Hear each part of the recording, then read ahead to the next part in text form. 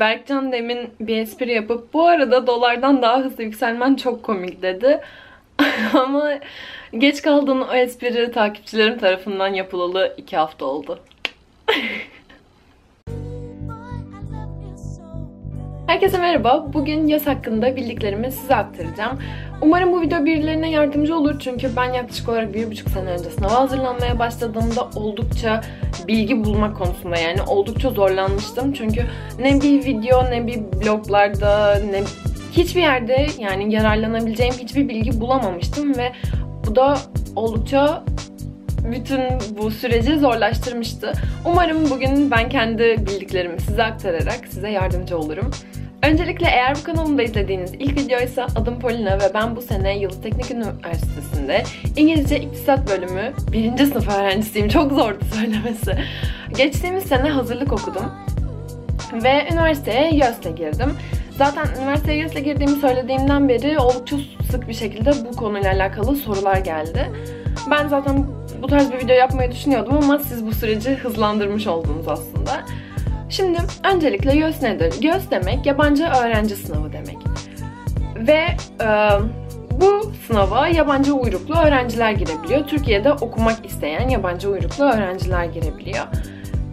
Doğrusu farklı ayrıntıları var yani sınava girme hakkı kazanmanız için oldukça farklı e, durumlar var yani izah edemedim ama mesela Türk vatandaşı olup da eğer liseyi yine de ya yurt dışında okursanız yine de bu sınava girebiliyorsunuz ya da yabancı uyruklu olup Türkiye'de okuduğunuz takdirde de girebiliyorsunuz.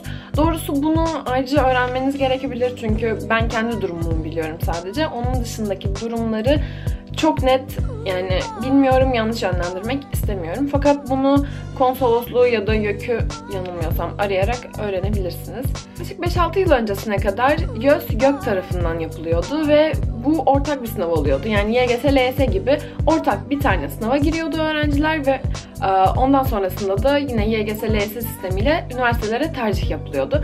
Fakat ondan sonra yaklaşık işte 5 yıl önce yanılmıyorsam YÖK e, kendi sorumluluğundan çıkardı YÖS'ü ve sadece üniversitelere devretti.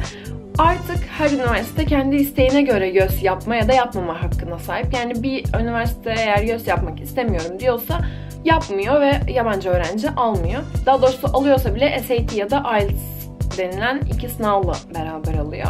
Üniversiteler kendi bünyesine YÖS'ü aldıktan sonra bir bakıma aslında YÖS zorlaşmış oldu. Çünkü Üniversiteden üniversiteye sınav değişti. Eskiden mesela e, bir tane sınavla hem Boğaziçi'ne hem de ya şimdi hiçbir üniversiteyi küçümsemek gibi olmasın. Yani daha düşük puanlı bir üniversiteye girebiliyorken artık üniversiteler kendi bünyesinde sınav yaptığı için kendi seviyesine göre sınav yapıyor oldu ve bu da YÖS'ü oldukça çok zorlaştırdı. Yani şöyle bir söylenti var. Yani söylenti değil de kulaktan kulağa dolaşan e, klasik bir kalıp var. Hmm, YÖS mü? YÖS çok kolay. Evet kendine göre tabii ki de avantajları var fakat e, sadece avantajı olan bir sınav olsa yani öyle bir şey imkanı yok. Yani bu dünyada hiçbir şey pürüzsüz ve güzel değil. Tabii ki de kendine göre de dezavantajları var. Dediğim gibi zaten en büyük dezavantajı iyi üniversitelerin kendine göre oldukça zor bir sınav yapıyor olması. Yani mesela YGS ve LYS'de tek bir tane sınavla en iyi ve en kötü üniversiteye girebiliyorsunuz. YÖS'te öyle değil. Üniversiteler kendi seviyesine göre sınav yapıyor. YÖS'ün belki de en güzel tarafı bence içerik bakımından daha kısıtlı olması. Yani YÖS'te bize sorulan matematik, geometri ve IQ soruları ayrıca Türkçe soruları. Fakat Türkçeyi hani illa vermek zorunda değilsiniz. Mesela benim Türk lise diplomam zaten Türkçe yeterlilik olarak geçiyordu. Fakat oldukça hani bence zor bir matematiği ve geometrisi var. Yani tabii ki de yine dediğim gibi ben birkaç tane sınava girdim ve üniversiteden üniversiteye inanılmaz bir farklılık hani yaratıyor. Ben Yıldız Teknik Üniversitesi'ne 90 virgül yanılmıyorsam 40 ile girdim ve ben kendi 5. tercihime girdim. Şimdi bir de şundan bahsetmek istiyorum. Bana oldukça çok bir şekilde neden iktisatı seçtiğim soruluyor. İktisatı tabii ki de yani hayatım boyunca ben iktisatçı olacağım diye yaşamıyordum yani. Şimdi kimseyi kandırmak olmasın. Fakat şöyle bir şey var. Ben ben inanılmaz derecede mimarlık istiyordum. Fakat neden istediğimi bilmeden istiyordum belki de. Çünkü mimarlık hem kreatif bir meslek hem de matematiğimin fena olmadığını düşünüyordum. Bu arada ben MF okudum. Ondan dolayı da e, mimarlık bunların birleşimi olduğu için ben kendimce mimar olacağımı düşünüyordum. Fakat 12. sınıf yaklaştıkça fark ettim ki ne istediğimi bilmiyorum ve istediğim şey aslında bir şablon ve mimar olmak da istemiyorum gibi bir şey. Ama hep bunu istediğim için yine de tercihlere mimarlık yazdım. Fakat gerçekten şu an mimarlık gelmediği için mutluyum diyebilirim. İlk iki tercihim mimarlık İngilizce ve mimarlık Türkçeydi. Ondan sonraki iki tercihim endüstri mühendisliği İngilizce ve endüstri mühendisliği Türkçeydi. Onu da çok fazla hani araştırmadan yazmıştım. Ve gerçekten şu tercihler öncesi ve sınav öncesi olan 1-2 ay benim için çok zor geçti. Çünkü inanılmaz bir depresyondaydım. Ne yapacağımı kesinlikle bilmiyordum. Ne seçmek istediğimi kesinlikle bilmiyordum.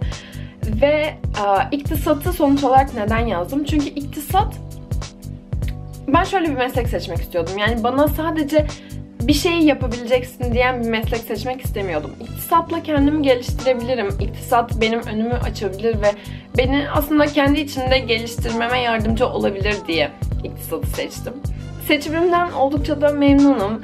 Belki radyo, televizyon da bana göre bir şey olabilirdi fakat yine de aslında bu sektörde kendimi şu an geliştiriyorum yani az ya da çok. YÖS'e geri dönersek. YÖS puanlaması iki farklı şekilde oluyor. O da üniversiteden üniversiteye değişiyor yani. 80 üzerinden ve 100 üzerinden bir puanlama sistemi var. Zorluk üniversiteden üniversiteye kesinlikle değişiyor. Soru sayısı üniversiteden üniversiteye değişiyor. Soru çeşitliliği kesinlikle aynı şekilde. Mesela geçen sene yani benim girdiğim dönemde, daha doğrusu bir sene önceki dönemde Marmara Üniversitesi çok değişik bir şey yaptı. Yani sınava girmeden yaklaşık bir, bir buçuk ay önce ben fen ve sosyal soracağım dedi. Halbuki YÖS'te normalde fen ve sosyal sorulmuyor. Ve bir kısıtlama da getirmedi konulara. Yani bütün YGS, LYS fen sorularını soracağım dedi. Ve biz Marmara Üniversitesi'ne de başvuru yapmıştık. Onun için mesela benim Marmara Üniversitesi'ndeki sınavım gerçekten çok kötü geçmişti. Çünkü beklemediğim bir yerden vurdu. GÖS'ün hani belki de kötü yanı bu. Üniversiteler kendi konularını ve kendi ders alanlarını yani sınavda soracağı ders alanlarını kendisi belirliyor ve yok ona bir kısıtlama ya da bir düzenleme getiremiyor. Bu arada okul puanı YÖS'ü etkilemiyor. Aklıma gelmişken onu söyleyeyim. Çok önemli belirtmek istediğim bir şey. YÖS'ün ayrı bir kontenjanı var. Yani şöyle YGS, LYS öğrencilerine ve YÖS öğrencilerine tanınan kontenjan ayrı. Eğer hani YÖS'ten 10 tane kontenjan açıkta kaldıysa bu demek değil ki YGS e, ve LYS öğrencileri o kontenjana alınacak. Kesinlikle böyle bir durum söz konusu değil. Yani yorumlarımda şey okudum işte hak yeme laflarını okudum. Öyle bir şey söz konusu değil çünkü e, dediğim gibi YÖS öğrencilerine ve YGS, LYS öğrencilerine tanınan kontenjanlar farklı. E, bir de şöyle YÖS'ün benim yani kanaatimce en büyük sıkıntılarından biri kontenjan. Evet, YÖS'e giren öğrenci sayısı daha az fakat e, bunu nasıl diyeyim, giren ve alınan öğrenci sayısına böldüğünüz zaman bir dezavantaj oluşuyor. Çünkü her bölüme bir ya da en fazla iki kişi alınıyor her üniversitede. Bu da oldukça sıkıntı yaratıyor. Çünkü mesela iyi üniversitelere giren, yani iyi üniversitelerin sınavına giren öğrenci sayısı çok fazla oluyor yalan olmasın gerçekten yanlış yönlendirmiş olmayayım fakat yanılmıyorsam benim girdiğim dönemde Yıldız Tekniğin sınavına yaklaşık 10 bin kişi girdi sadece Yıldız Tekniğin sınavına fakat her bölüme bir ya da iki kişi alındı. Benim bölümüme mesela iki kişi alınıyordu. Onun için gerçekten çok büyük sıkıntı oluyor ve insanların arasında böyle puan farkı neredeyse hiç olmuyor. Çünkü yüzlük bir yani 100 puan sistemiyle değerlendiriliyor. Yani mesela 500 olsa belki de bir tık daha rahat olabilirdi. Aklıma şu an başka bir şey gelmiyor. Düşünmeliyim. Burs imkanı tanınmıyor yabancı öğrencilere maalesef. Yani bir başarı sağladığınız zaman size burs verilmiyor. Bir de şöyle bir şey var. Özel üniversitelere burslu bir şekilde giremiyorsunuz. Yani öğrenci, yabancı öğrencilere tanınan fiyat farklı oluyor. Fakat bir sınava sizi tabi tutup size bir burs imkanı sağlamıyorlar maalesef. Yani eğer devlet üniversitelerine giremiyorsanız en özel üniversitelere burslu girme imkanınız maalesef yok. Bildiğim kadarıyla, araştırdığım kadarıyla sonradan bir başarı bursu kazanabiliyorsunuz. Fakat o da artık e, öğretim yılı içerisinde kazanabildiğiniz bir burs oluyor. Bir de şöyle bir şey var. Aynı zamanda mesela Yıldız Teknik Üniversitesi'nin benim girdiğim dönemde çıkarttığı bir harç var. Yabancı öğrenciler devlet üniversitelerine harç ödüyor. Ve Yıldız Teknik Üniversitesi benim girdiğim senede harcı inanılmaz derecede yükseltti. İnanılmaz derecede yükseltti. Yani neredeyse yüzde yani bir özel üniversiteye yüzde 50 burslu girmek kadar yükseltti. Fakat sonrasında talep tabii ki de bir anda azalınca yine de yarıya düşürdü. Fakat hala hmm, normalde devlet üniversitesine ödenmeyecek bir harç ödüyoruz. Onun dışında söyleyebileceğim sanırım bir şey yok. Yorumlara bakmak istiyorum. Sizin sorduğunuz güzel bir şey var mı diye. Taban ve tavan puanlarını sormuşsunuz. Taban puanı yine üniversiteden üniversiteye değişiyor. Hmm, yatay geçiş hakkı yok diye biliyorum. Onu sormuşsunuz. Dershaneler hakkında bir şeyler sormuşsunuz. Evet bu da oldukça önemli bir konu. Çünkü YÖS için eğitim veren dershane sayısı oldukça az. Ben sınava Antalya'da hazırlandım. Ben şöyle yaptım. Normal matematik dersi aldım. Hani bildiğimiz bir lisede öğretmenlik yapan bir matematik öğretmeninden. Bu arada benim matematik öğretmenim bence dünyanın en tatlı hocasıydı gerçekten. Yani üstümdeki emeği o kadar çok ki bence yani gerçekten kazandıysam onun bana verdiği dersler sayesinde kazanmış olabilirim.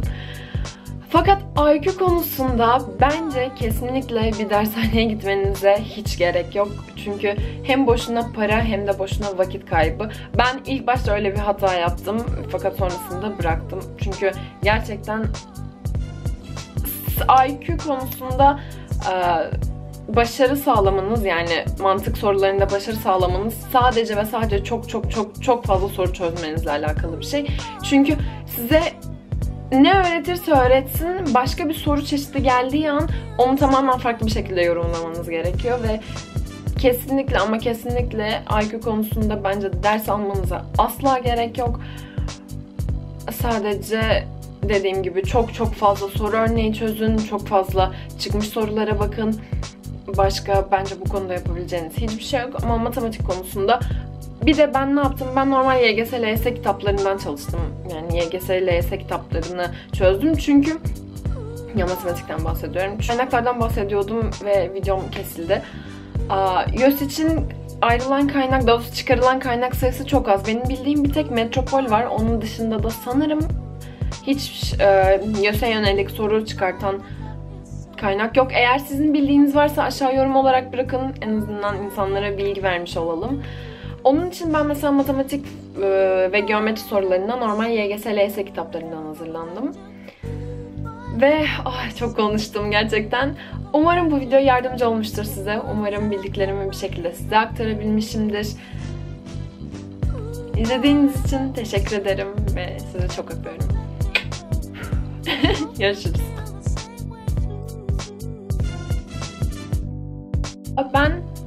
Yani adım Polina ve ben bu sene Yıldız Teknik Üniversitesi Üniversitesi kafamda bir sürü anlatmam gereken şey var. Şu an çok karıştı. Özel konuşup saatim çok hızlı konuştum. Şu an kafamda bin bir tane şey var.